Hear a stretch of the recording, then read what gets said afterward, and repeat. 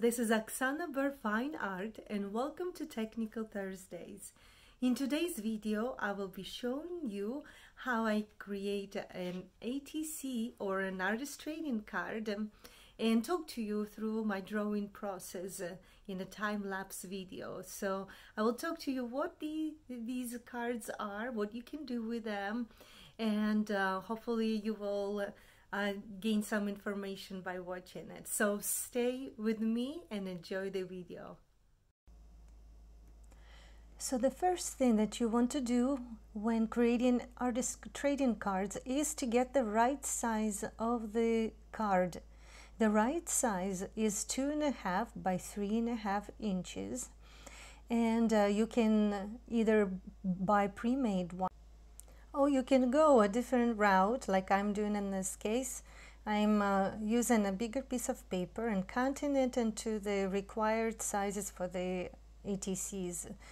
So for me, this is a cheaper way to go, um, especially if you buy large sheets of paper and uh, it will make you a, quite a decent amount of um, trading cards.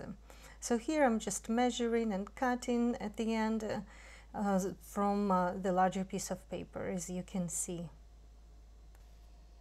Now one thing you may or may not know is uh, that um, artist trading cards were created by Swiss artist uh, in 1997 and that then it became a movement and so it's uh, practiced among uh, the whole world where artists trade with each other these um, miniature works of art. All right. So now I'm onto the stage where I'm uh, taping it to the board. In this case, I'm just using, using a clipboard since they're quite small. So you can see that um, I am uh, uh, attaching before I start my sketching. And I decided to go ahead and do the sketching by hand in this case.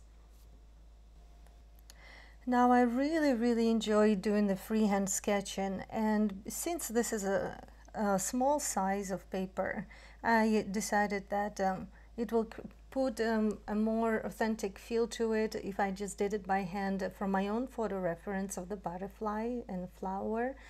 And I, I'm not drawing exactly, but I'm, I'm making my own um, decisions uh, how I want uh, uh, the whole overlook to be resulting in the end. So I'm using artistic uh, license in this case.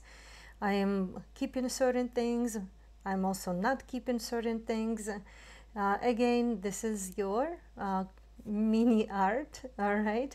And you are in charge of uh, what you want the viewer to see. And before I uh, start with uh, the colored pencil, I am uh, erasing unnecessary lines as I don't want them to be prominent and um, uh, looking pretty sharp uh, because that will interfere with uh, colored pencils I'm applying. Uh, for this um, project that I'm doing, I'm using actually the water-soluble colored pencils by Caran d'Ache. They're Museum Aquarelle and they work great both in, as wet and as dry uh, in a dry form. So I decided to just um, make this whole art of work uh, using only museum aquarelle pencils and to see how I like it. And that's another tip I want to give you. When you're not sure uh, about the certain pencils brands or pencil brands combination to use uh, in your original like a bigger scale artwork, go with a small artwork e either if it's a artist trading card like this or if it's just a small study and that's where you're able to test out some of the brands or combination of brands and see for yourself uh, when you go on a bigger scale what might or might not work for you. So I am actually really liking doing on a small scale on, in this case as it's given me an opportunity to experiment. So I'm applying these uh, pencils uh, in a dry form uh, on uh, Stonehenge White uh, by Legion uh, paper and I am uh, just blocking in the colors as I will be later using the water to uh, dissolve the dry form because I think that will create a really nice rich look and then I will go back again with the pencils in the dry form. So call it uh, another painting because we are going to dilute it with water. And uh, as I am applying uh, the, the, colors uh, for the black butterfly, I am using other colors that uh, make up the black color. In this case, uh, a combination of dark greens and dark blues. So now going in with the water, I'm using a, a lot of control, small round brush by Anna Mason, and just um, uh, diluting all the colored pencil that I applied. And I really like how it, it looks. The transformation is amazing. And before I move on to the next step, which would be the uh, application of, again, of the same uh, watercolor uh, pencils, uh, I would be making sure that this is completely dry. You don't want to go back in with uh, on, while the paper is still wet. Now, one thing is that helped me with tiny details, uh, and I'm not used to working on a small scale like this, is occasionally using uh, a magnifying glass. And the magnifying glass allowed me to see better details and much easier where I need to apply certain shades. So it really, really helped me.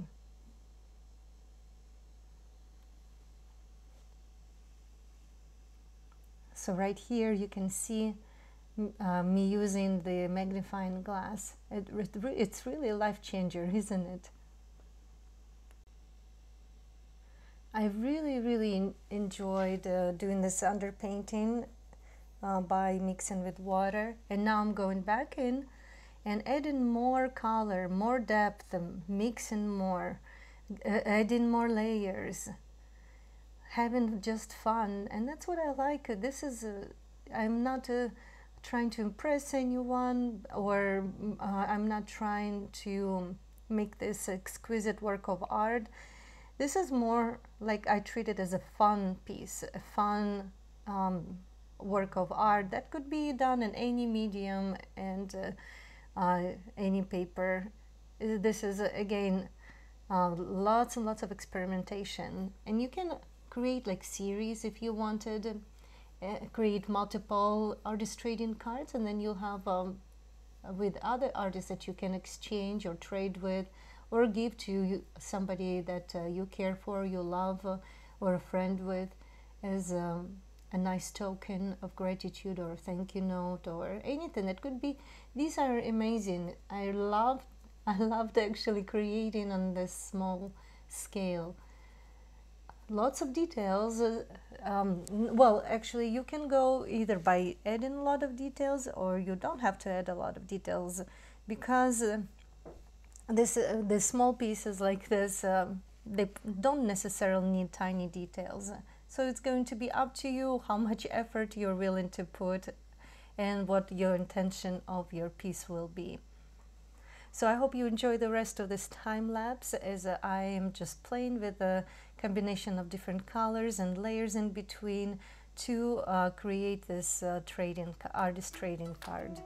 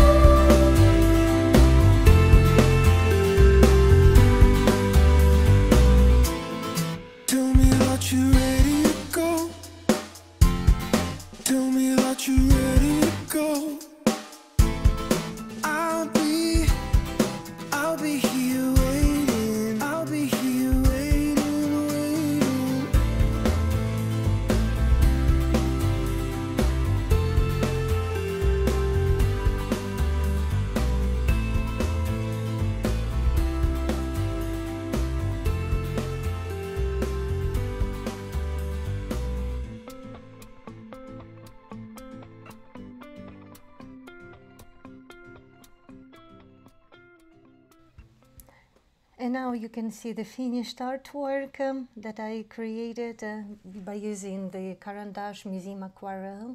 My overall opinion is that I absolutely love these pencils. They are buttery and soft and they are so easy to layer um, and they're excellent in both dry and wet forms.